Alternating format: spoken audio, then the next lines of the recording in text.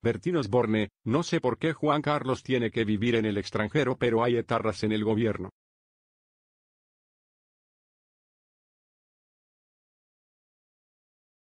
La fundación que el artista Bertín Osborne ostenta la vicepresidencia ha celebrado el primer torneo de pádel benéfico con el fin de prestar ayuda y formación a familias que tengan algún miembro con discapacidad. El lugar elegido, el Club 4 Mat Padel de Pozuelo de Alarcón en Madrid.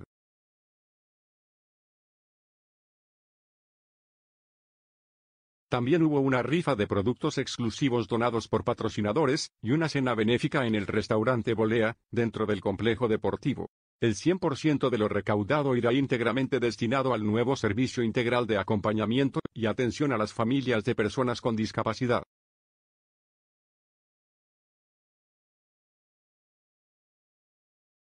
Todo esto es posible gracias a la colaboración de distintas empresas que han contribuido de manera altruista, que ayudaron a lograr que se hiciera entrega de un cheque por valor de 21.000 euros.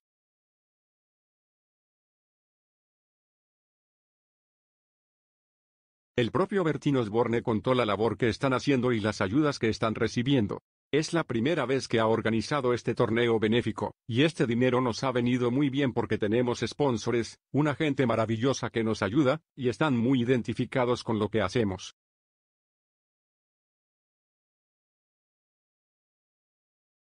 Afortunadamente, Fabiola es como es, y hacemos auditorias todos los años. Hay que tener en cuenta que estamos ayudando a más de 2.000 familias, y eso requiere un gran trabajo. Yo vengo todas las semanas a Madrid para ver a los niños. Así lo explicó.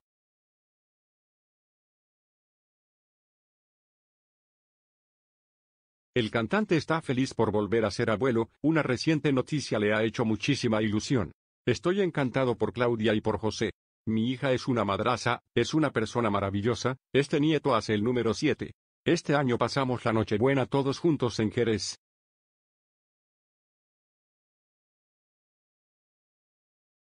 La cocina se me da bien, a pesar de lo que dice mi hija Eugenia, que nunca me ha visto hacer nada, pero te aseguro que soy un fenómeno haciendo las labores de la casa, planchando, haciendo la limpieza y demás. Paso la fregona mejor que nadie, tengo mi propia técnica, comentó entre risas.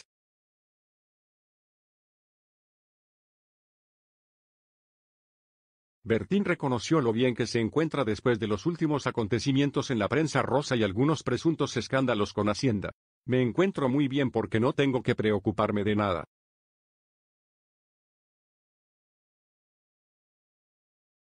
Que salga una noticia ahora de hace 25 años me parece que no tiene razón de ser, ya se trató y se solucionó en su momento, y lo de la cámara oculta, no tenía ni idea, además lo recriminé porque con esas cosas hay que tener mucho cuidado. Lo que sí me gustaría es que se le diese tanta importancia a mis 40 años en la música.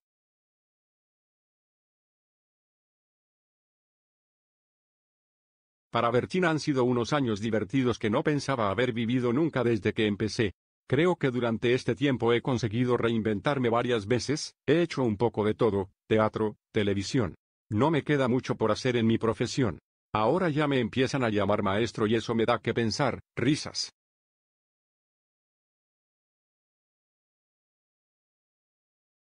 Los 40 años trabajando en los escenarios se van a celebrar, explicó con un gran gala en la televisión con Toñi Moreno, y va a ser bastante bonito, va a estar toda la familia, incluida Fabiola. Será en casa y en la de una hermana mía, también en el campo, va a ser un repaso con un montón de gente.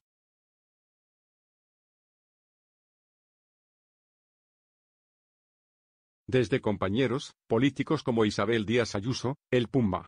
Pero Pantoja no, porque casi no la conozco. Me la presentó Paquirri en Valencia, y después hemos coincidido un par de veces nada más en la televisión.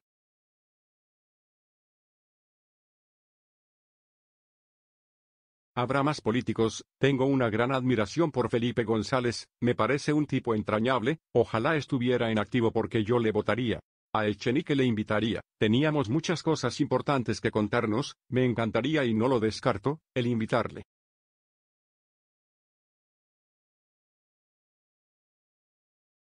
Estoy encantado trabajando con Vicky Martín Berrocal, la quiero mucho, siempre me cayó muy bien.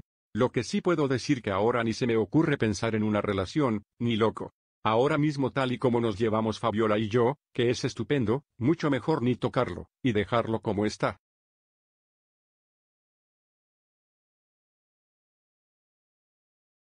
Bertín tiene una buena relación con don Juan Carlos de Borbón, y al preguntarle qué le parece que no pueda venir en Navidad a España, su respuesta fue muy clara. Todos podemos cometer errores en la vida, yo el primero y lo he pagado.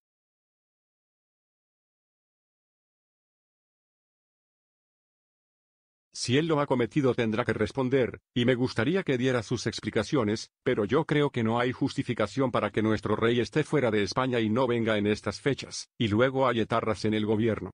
Yo no sé por qué se tiene que aplaudir a un etarra en la calle, y su majestad tenga que estar viviendo en extranjero.